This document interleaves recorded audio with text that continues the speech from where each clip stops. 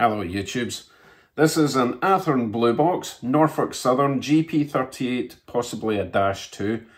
One of the first locos I got when I first started the hobby back in April last year. It's a great running loco. Does have some uh, cracked gears that I need to fix, but today, finally, I'm going to upgrade it to DCC and it's going to be very, very simple. oh goodness.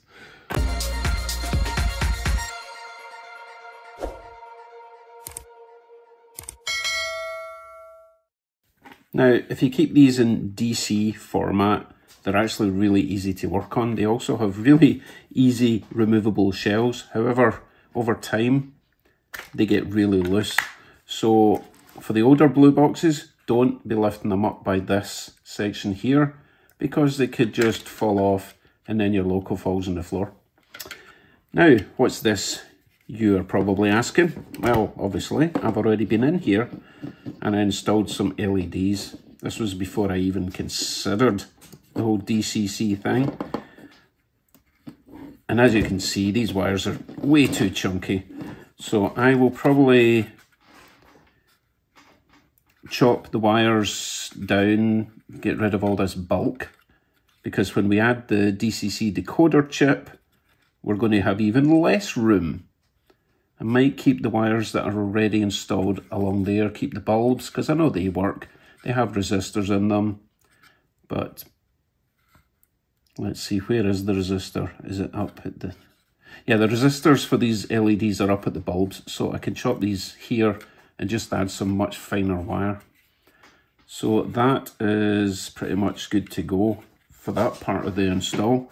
As for the rest, I need to get rid of all this wiring. First, let me explain to you the decoder chip I'm going to be using and roughly how it gets installed.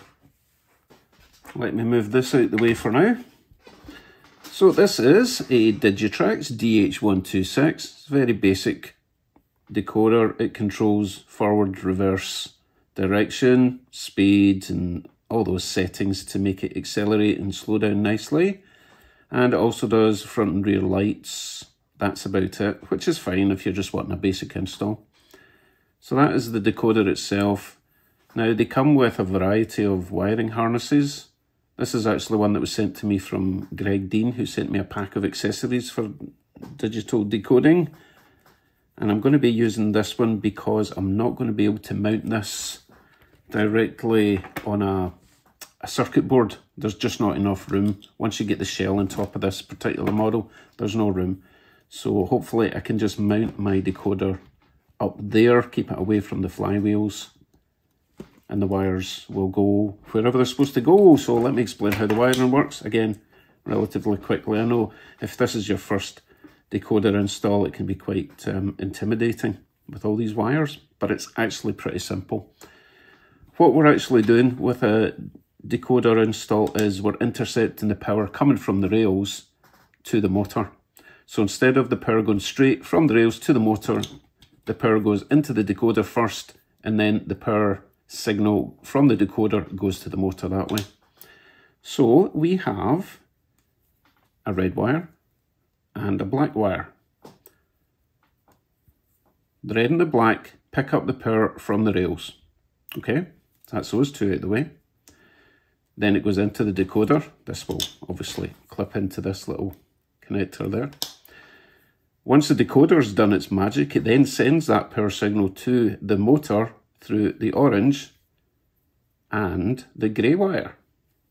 Okay, so that's two power signals coming in and two going out. So that's four wires we've used so far. Remaining wires. We don't use the green for this particular install because this is a generic harness. We don't use the brown, so forget about them. I'll probably chop them short. That leaves us three wires left and these are for your lights. The blue wire is the common positive. The white wire goes to the front headlight negative and the yellow wire goes to the rear light negative. So the positives from both the front and rear lights goes to this blue wire. And that's all our wires. It's actually that simple. The hard part is, with the Athearn Blue Box, The negative signal for the motor is actually picked up from the bottom of the motor into the frame, so we need to isolate that. Before I get to that stage though, I do need to get rid of all this chunky wiring, strip it down. I also need to replace my axle gears. I've got some off AliExpress. I'm not going to leave a link because these are not perfect. They're actually white. The diameter and the holes in the middle of these axle gears are different sizes, so I can't recommend them. I'm going to have to super glue them in until I get the right thing. So I will take care of stripping this down, cleaning it, and then we'll actually start the install. So we see in a minute or two.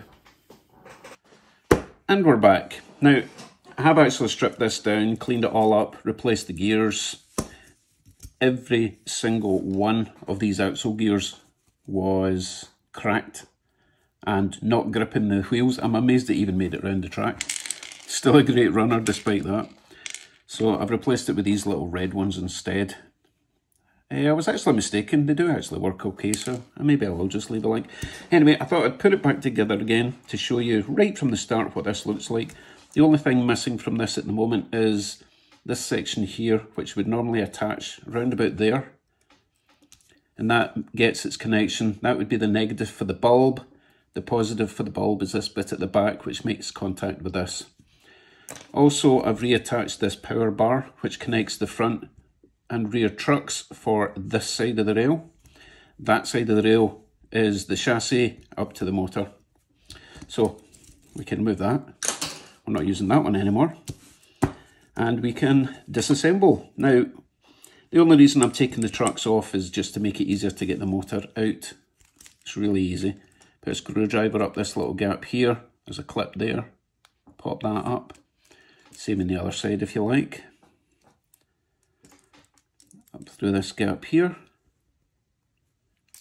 Keep your finger over the top of that clip. It likes to pin off. Remove that. Remove your worm gear and the little drive shaft extension. And your front truck will drop down. Okay. While you're at it, clean this, this section here because in order to get the power from the rails, it comes up through the wheels, touches those brass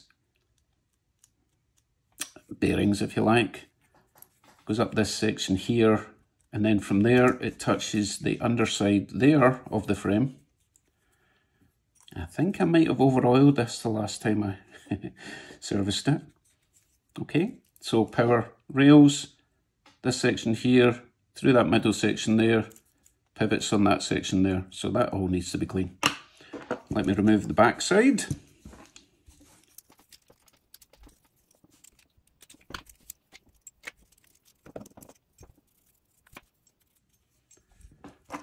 Okay, that's our trucks removed. Put them to the side for now. It is important to remember which way around these were. This is the front. These are the positive pickups on the right hand side okay so I'm going to try and remember to keep these the right way around this is the front facing that way okay now we can remove the motor on the underside you'll see in the and blue box these four little creamy coloured circles they're actually two motor mounts that one and that one's connected and that one and that one's connected you really want to push these through with maybe a Phillips screwdriver. I would prefer to have like a a helix, not helix, a, a sort of Allen tool shaped thing rather than poking a hole in the bottom because these can break, especially if they're old. I have squirted some oil down there just to hopefully make it a bit easier to push these out. Sometimes you can wobble this out and I'm noticing even before I start, do you see that crack there? my motor mounts are knackered, but I'm not just going to rip this out. Let's pretend my motor mounts are fine. Thankfully, I have a 3D printer and I've made a couple of my own replacement mounts. So just be careful if you want to reuse your, your motor mounts. So I'm going to try and push these through. Oh, these are rock solid. These should be kind of flexible, you know, sort of rubbery things. Oh, it's just, look at it, it's falling apart. So just as well, I've got new motor mounts to put in. Oh, these are solid. Yeah, brittle. Shouldn't be brittle. Mean, the whole point of these motor mounts is to take the vibration away. Now, these are just basic PLA filament printed mounts. You can buy the proper ones on eBay or whatever. They're not expensive, but I figured what's the point? I'll just try and make my own. Right, now I need to get rid of these. Ugh. Crunchy. Yeah, they shouldn't be they shouldn't be that fully a party. Hopefully these are the same. Yeah, they look okay. Let me just have a wee test fit before I go any further because I might have to reprint these and they take a while for me to, to print out. That's going to go in there. And as I say, there's two of these and oh my goodness, so much shrapnel. Sorry, my chair is very squeaky today. Maybe use some of that oil in it. Right, so that, you see those two grooves there? They pop in there. Yeah, that looks like it's going to work. And that one will pop in there. And then those four holes go into the four holes we've just removed it from. However, we're not ready for that yet. Why did I take the motor out? Well, you see these little these little copper strips there? They're kind of spring loaded pointing towards me and they force themselves onto that silvery strip there which we're not using but I'm still going to clean it because you know why not? We need to prevent those little tangs from making contact to the chassis because we need to isolate this. There's two ways of doing this. You can snip them off those little things or you can swap this bar with the top bar I think on this occasion, I think I'm just going to snip these off, but we still have to make sure that this strip here does not come on into contact with the frame. So we'll put a bit of tape along the bottom there just to prevent that. First though, I'm going to remove this little bar, cut off those things, put it back on again. We also need to solder on a wire because instead of getting the power from these little tangs, it's going to be getting the power from the decoder, which is going to sit way up the top. So let me get this off, snip them. While it's off, I'll solder on a little bit wire. Now, when you remove this, you got to remember that underneath this strip here is a spring and your brush for your commutator. Okay, so keep your finger above that. Unclip there, remove that. It kind of hooks in at this side, so it took in there, clip down that way to put it back on. Let's see, do we need to remove this for now? No, not really. Just make sure you don't lose your spring and brush. So, as I say, I am going to just snip this. Maybe bend it up first. Because we really don't want this poking down onto the frame.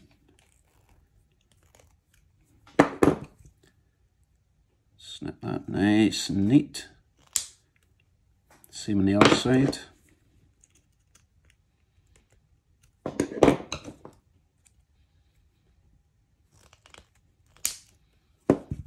Okay. Make sure they're not poking up. Next step then, I want to solder on a little bit of wire. Now what colour of wire and why is that important? Well, this is going to be getting the power signal from the decoder. And we've already established the two colours we need from the decoder are grey and orange. So I'm going to make the bottom one grey. Let me find a bit of grey wire and get this soldered on. Obviously we need to give this a little bit of a clean, make sure we get nice contact because once this is soldered, we're not going to have access to it. We can have, we'll have access to everything else, but not this bit. In fact, I think what we'll do is put it right at the edge there. Because we want this to, this section here to be as flat as possible. So I think in there is where we want to wire or, or solder a little wire, okay? Let's move our motor out the way for now. Oh, nearly lost the spring. Careful of that. And we will get our little wire on our little strip here. Bit of flux in there. Clean our soldering iron. I can't stress how important it is to always have your soldering iron nice and clean. Saves a world of trouble. So first we'll put a bit of flux just in there. This needs to be warmer. Basically the bigger bit of metal that you're soldering to, the hotter it's needing to be. Just ask anyone who's ever tried to weld aluminum.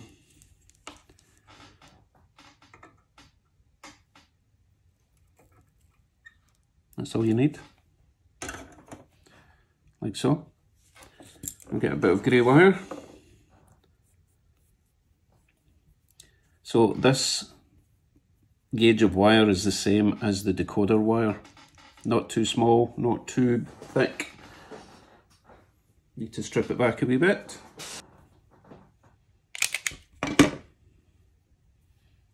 Get that tinned up first.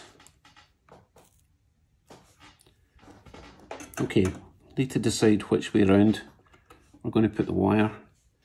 So if that is the bottom facing forward that way, I think I want the wire coming up. It doesn't really matter. I think I want it coming up this side, so over that way then.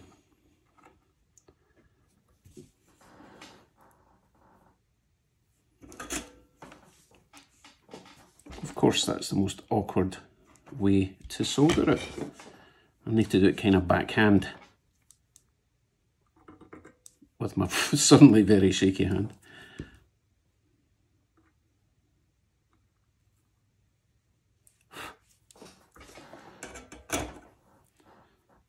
That's our first connection made. So that is ready to go back in the motor. As well do that now. Pesky little spring back in. And remember what I said, this clips over this side first. It's going to be impossible to get it on the other way around. If you see that side there, it's got a sort of S clip. This has got a hook, so that hook's over there first. And then it just pushes down, clips in place. Okay. So as I said, that's the front. This is going to come up this way, this side of the motor and into the decoder, wherever that ends up being. So while we're on that part of the installation, let's just make sure that we're not going to get a contact down there. Very unlikely because that is actually recessed, but I'm just going to put a little bit of insulating tape across that. I'm going to give this a right good clean first because it's a wee bit oily and tape does not like to stick to oily metal, as you can imagine. Okay. Let's get a bit of tape. Just cut this to shape. Just a very small strip. Let's go with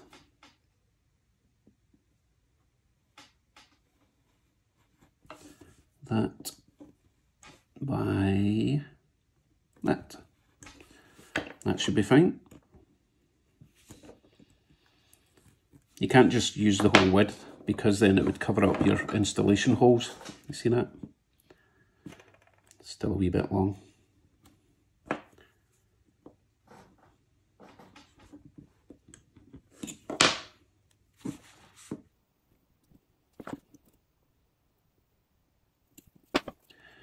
Just like so. So, no danger of the motor making any sort of connection from that bar down to there. Okay. So he can go back in. Well, it's that way around. But uh, obviously we have to see if these little motor mounts are going to work. Let's give it a shot. One in that side. One in this side. Oh, Still bits of junk in there. Old motor mount material. And we can just push this into place. Is that the right way around? Keep getting this wrong. Nope, that way around. That should pop into place with a bit of force. Oh, that's nice actually. That worked out better than I thought. Oh, that side's not in yet. Oh, it has to go down all at once. Line up the mounts. You do want this a nice tight fit to be fair.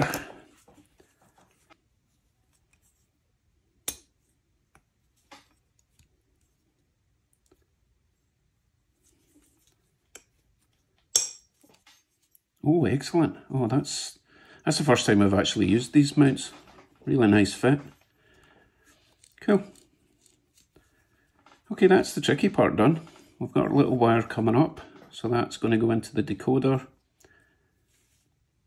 We can actually put everything back on, get the trucks back on, get the drive shafts back on. Next part is just going to be wiring, wiring and a bit of soldering. Let me clean up a bit. That's better. Okay, let's get our trucks back in. Pops up there, locates in that hole I was talking about before. Drive shaft back in.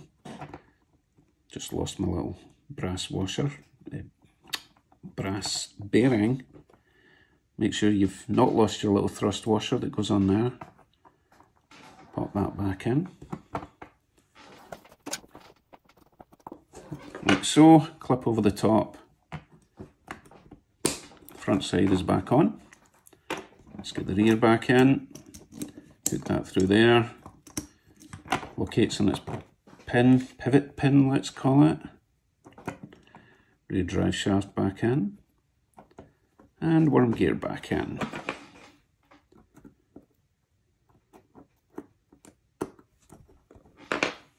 Clip back on. Excellent. Getting on like a house on fire. Okay, let's figure out this wiring for this decoder. So, we have right track, right track, positive. And for the left track, we're going to take the feed from this. This, as I said before, was the negative power coming for the bulb, but we can use that because that's attached to the chassis, right? we can use that to go to the other side of the decoder, the basically the the black. Okay, the black wire for there, red wire for these two. So we need to connect these two to make sure we've got pickup from front and rear truck, right side. Left rail gets its power feed from going through the chassis and both of them go through this. So this gets a wee bit complicated because we need to connect those two and then run a wire all the way from here. Oh, let's just go on with it, shall we? But first, we need to establish we're going to have enough room to mount our decoder. I'm thinking probably either there or there. There's a bit of a, a high spot there, so it'd be better if it was lower down rather than coming up even further. Let's check that against what we've got here.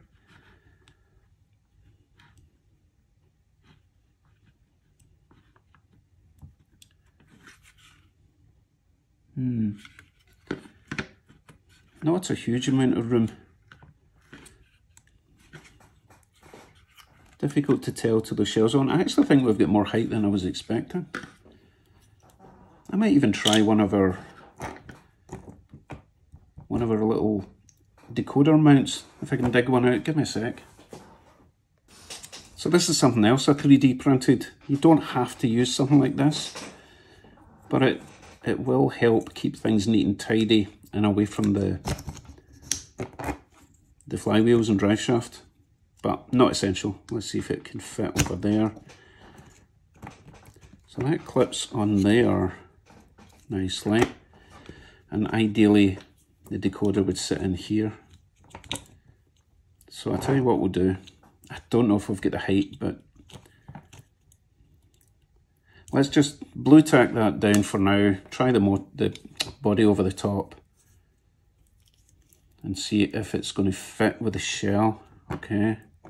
I think that's going to be too high, but we'll give it a shot. Ah, I think it's too wide anyway. Yeah, see, this would work for like a PA or an F7 type local, but it's so narrow in there, it's not getting in. Oh well, it was worth a shot. Now you know. I guess we're back to doing the basics. So, while we've got the blue tack, let's make sure we've got enough room in here. Uh, let's see which way. I think we'll try it this way. I mean, you can use like double-sided tape or whatever you like. On this occasion, I don't actually think I'll be using the hot glue gun because the motor could get hot and heat up the glue and then that could cause problems on its own. This is so tight in here.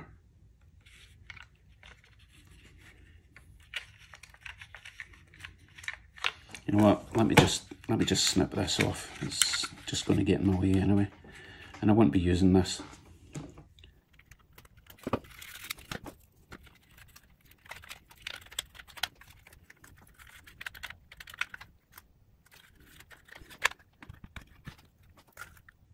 Okay, that'll work. We've got the height, so my decoder can sit up there. No problem at all. Right, wiring. I may as well plug in my harness and then stick the decoder down since I know where it's going now. And then we can figure out how to route all the wiring. Get this off for now. It's not the tightest of fits. Ah, there it goes. Okay. So what did I say that way? Hmm. Although, I think I would prefer it this way. I'm going to be soldering the orange wire, this one here, onto this power pickup for the motor. I think I would rather have it there than there because that's directly over the spring and the brush. So if I mount it this way, I can always double back the wires and stick them on top of the decoder, but it means that this orange wire can get mounted to there. I think that is more desirable, to be honest. So let's get a fresh bit of blue tack, because this one's a bit grubby. I found some white tack instead. I don't have any black tack, which is the bestest, but I can't seem to find it in Canada can get it on Amazon, but it's like $30 for a couple of squares. It's nonsense. Anyway, this is better because it kind of molds into place. Look how dirty I've got it already. Goodness. Hope no one sees that. You are going there. Decoder can get splodged on the top. Squish that down.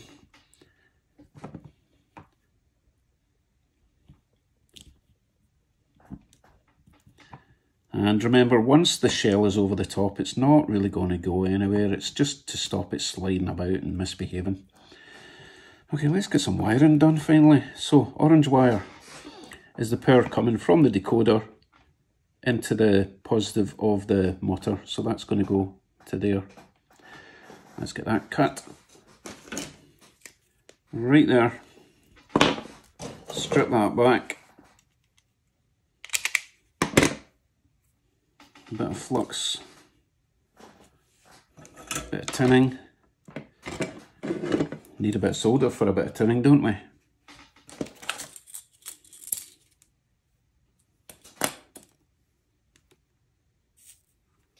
Get a bit of flux on this connection here. Get our first wire finally attached. Let's bend up a wee bit just I'll just try to keep the wires as short as possible.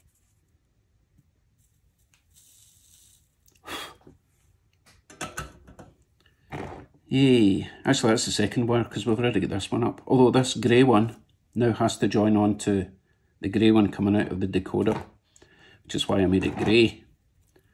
So let's keep that nice and short. This is coming up to there. I just need to join these together. Although I do want to keep it away from the flywheel as much as possible. Okay, we're going to snip that one there.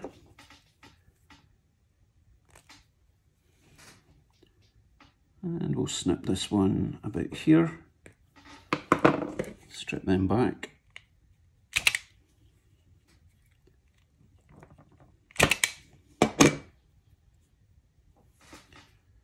Flux. Tin them up first before the next step.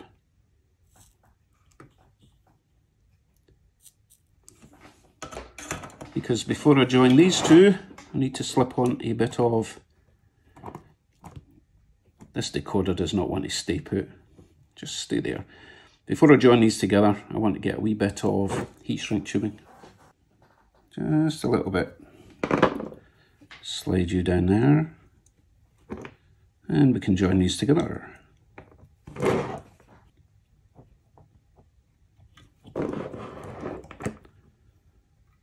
Yeah, that'll work.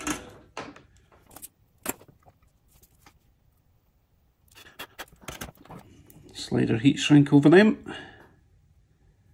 Make it nice and safe. Get with the shrinking. Lovely. Okay, so that is the power going to the motor, orange and grey from the decoder. Next then we want to actually get the power into the decoder. We've got too many wires here. Let's get rid of the green one. We don't need that one. And we don't need the brown one. We do, however, need the red one and the black one. Let's just tuck these under here for now. Don't need them at the moment. They're for the lights. God, look at them. They just want to be part of the action. So the black one's easy enough. The black one's just going to go straight to that. So let's do that one just now. We snip there. Bit of a strip show.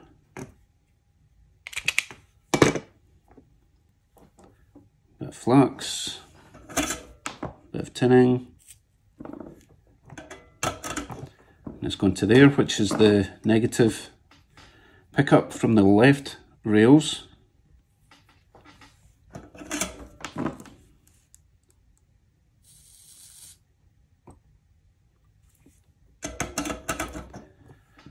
Okay, so that's our negative pickup coming from all the wheels on that side, through there, into the decoder.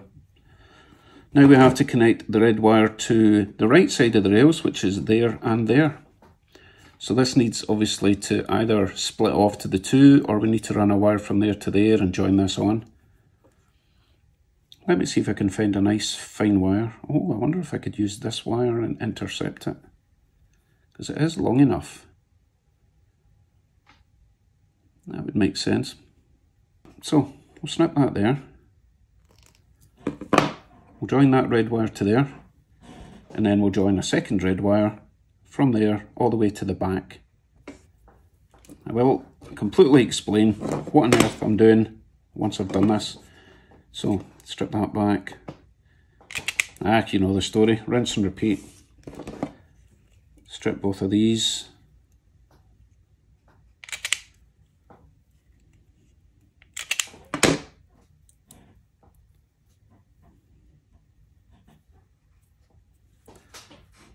Usual story, as I say, flux, tinning. Ooh, that's a bit dirty.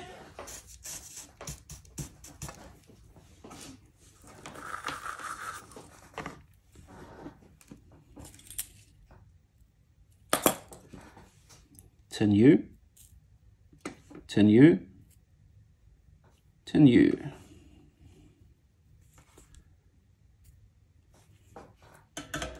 Going to need a bit more solder on this, so more flux. Oh goodness, that was a lot of flux.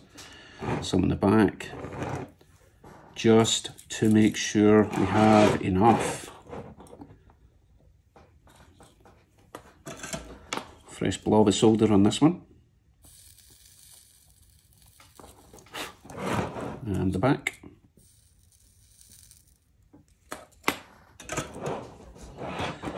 Now we can get, ow, that was hot. Rookie mistake. Right, red. So this is the front right rail pickup.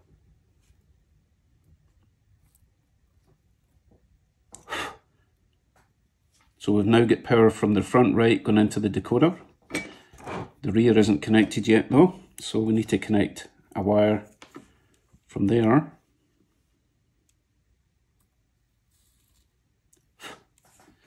all the way to the back.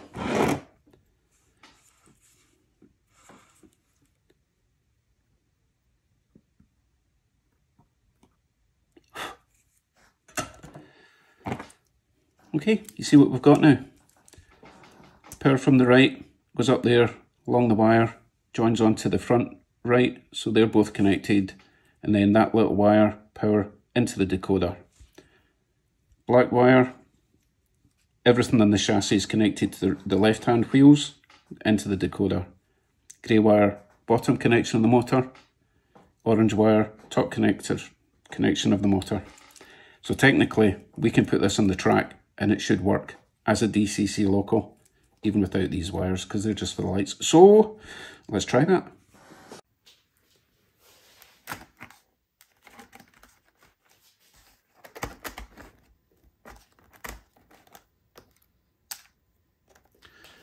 All new decoders should come from the factory as Loco number three.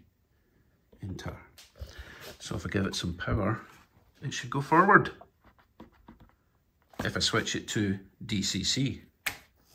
Oh, it's off. Change direction. Change direction. I was wondering what was making the noise, but I've got another DCC loco on the track. Let's get him off just now, he's put me off. Much as I love it, we don't need you right now. As I was saying, forward, work in, change direction, comes back, change direction again, goes forward, power down, off. Excellent, so all that's left now is to hook up these wires to some lights. Okay, LEDs.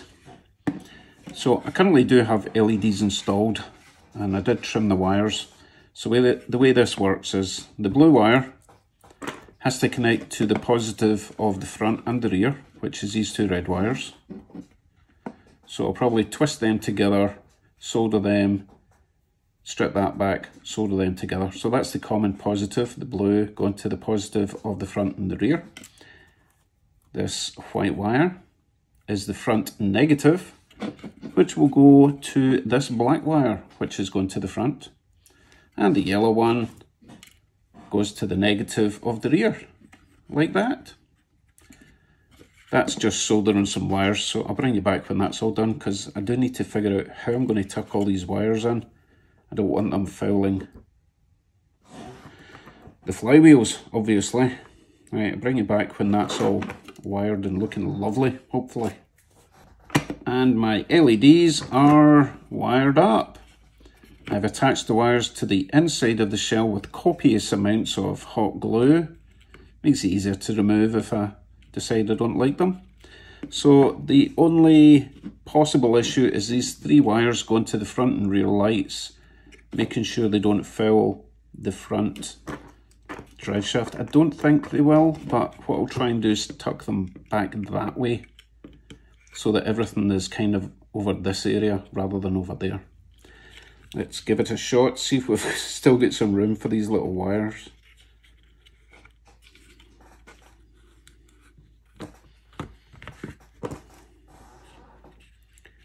Make sure nothing else is fouling any of our drivetrain.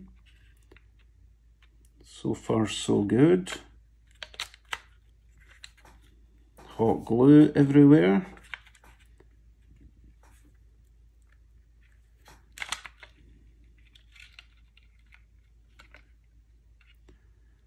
I think something was fouling there, but I don't see what it was.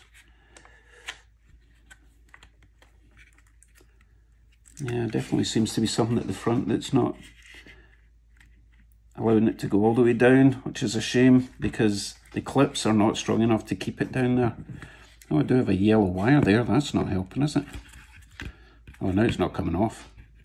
Make up your mind. That has to go in that side.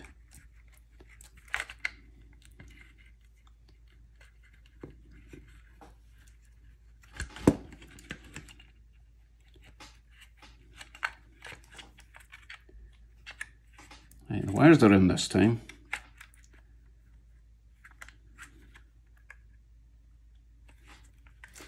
Pretty good. Pretty good. I think it was just the... Nah, there's definitely something not happy. That's so annoying. Just so tight in there. Just squash it really hard. Don't do this, by the way. This is just because it's mine. Ah, I'm sure it'll be fine. I just hope it works. Let's get to the track and find out, shall we? So I used a tiny bit more hot glue just between there and the frame just to, you know, persuade it to stay down. It seems to be fine now. As long as it runs and I haven't just stuck the wires right across the drivetrain. Let's find out. Right, we'll start with the headlight. Do you work? Yes, you do. Very nice. Right, we'll give it some power. Nice and slowly, please, and not too much noise. There might be a bit of noise because of the new gears, but that will take a while to wear them down.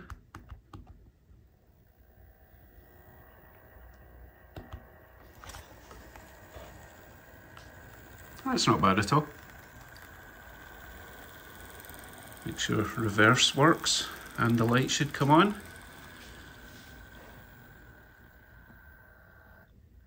Ooh, very bright.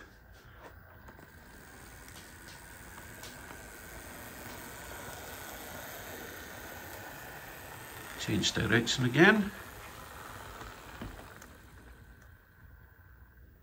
Lovely. Okay, let's go for a victory lap.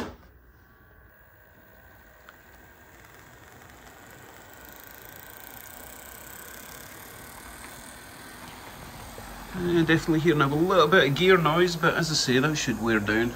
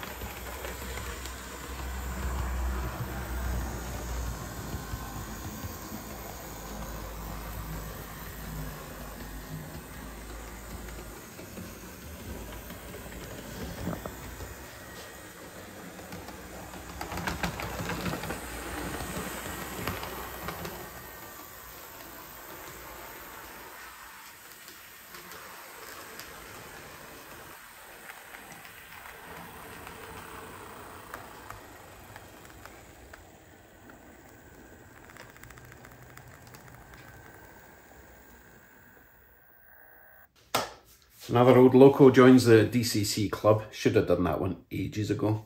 Hope that was helpful. Quite a long video, but I'm trying to be as detailed as possible, especially if you've never done a DCC upgrade before. It's really not that hard. It is harder on an Athearn or anything that needs you to isolate the motor. I should really try it on an older pancake motor because they've just got two wires going to the motor, that's it. So maybe do that. I do have a, a worthy candidate on the shelf over there. Maybe do that next. Anyway, thank you very much for watching. I would need to go now and grind some gears. Oh, the hardship of playing with my trains. Trains? Trains. That was a cross between a tram and a train. Tram. Anyway, I've obviously gone mad. See you soon. Bye for now.